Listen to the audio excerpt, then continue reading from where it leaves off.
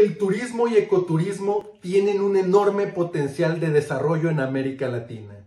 Para obtener resultados es necesario diseñar e implementar una estrategia integral para atraer turistas nacionales y extranjeros.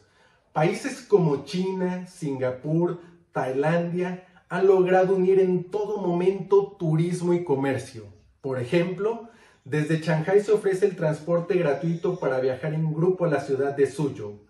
En cada lugar turístico que se visita venden alimentos, artesanías, recuerdos, renta de trajes típicos para fotografías, entradas a museos u obras de teatro.